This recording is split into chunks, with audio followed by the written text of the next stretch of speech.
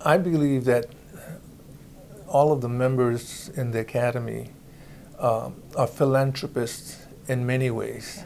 Yeah. And one of the things that we do is we give to try to make society better and to make sure that uh, we help advance eye care. You can't stand still.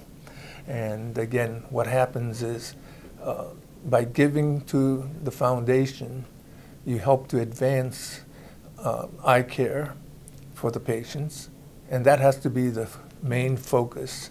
And the foundation does a wonderful job of doing that.